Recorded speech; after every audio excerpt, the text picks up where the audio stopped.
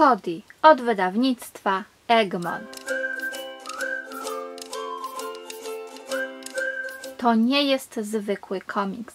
To przepiękna, graficzna opowieść o przyjaźni dziewczynki i niedźwiedzia, których przyjaźń rozpoczęła się od pewnego wypadku. Dziewczynka nie ma przyjaciół, spotyka się raczej z okrucieństwem ze strony rówieśników, którzy dokuczają jej z powodu dużych uszu. Dziewczynka całe dnie czyta komiksy. Babcia nie jest zadowolona z tego, że jej wnuczka znowu czyta książeczki z obrazkami. Chciałaby, by wyszła ona z domu i by zaczęła spędzać czas inaczej, by znalazła przyjaciół i była szczęśliwa. Zmuszona przez babcię dziewczynka wyszła z domu, poszła tutaj sobie coś kupić, porozmawiała e, przy okazji z pewnym panem spotkanym w sklepie, który jak się okazało również czytał komiksy. No i nagle spostrzegł, że nadciąga burza. Katia szybko popędziła do domu, ale po drodze potknęła się, poślizgnęła, potknęła, no i wpadła w pewne miejsce, gdzie zobaczcie, spotkała niedźwiedzia. Na początku się go wystraszyła, ale okazało się, że to był przyjazny niedźwiedź. Bardzo bał się burzy, no i miał wypadek, przygniotła go kłoda.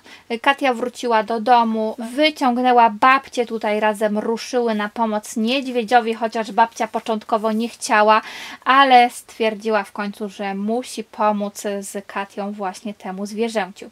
Uratowały niedźwiedzia, ale niedźwiedź nie mógł chodzić.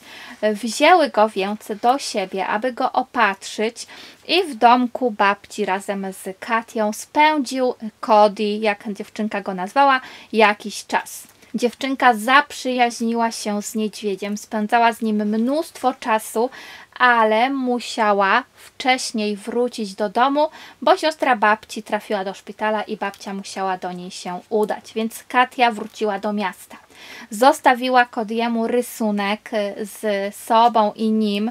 Zaznaczyła mu również, gdzie będzie następnego lata, ale niedźwiedź nie chciał tyle czekać. Wiele godzin spędził wypatrując jej w porcie, po czym postanowił udać się właśnie do miasta na poszukiwania swojej przyjaciółki. Spotkał tam pewnego rybaka, któremu pomagał w połowach, a on w zamian za to próbował znaleźć Katię.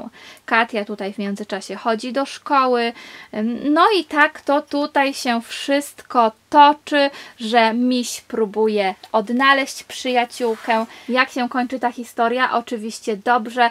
Cody i Katia spotkają się znowu, znowu będą mogli spędzać razem czas.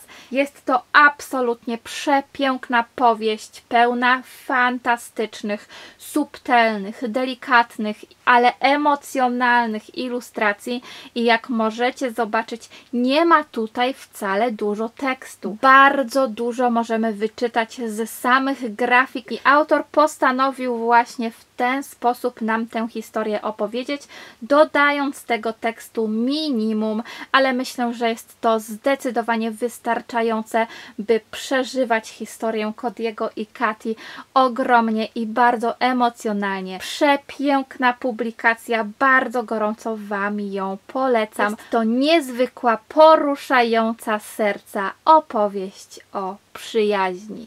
Zapraszam Was również na blog. W opisie do filmu jest link i zasubskrybujcie mój kanał, aby być zawsze na bieżąco ze wszystkimi recenzjami.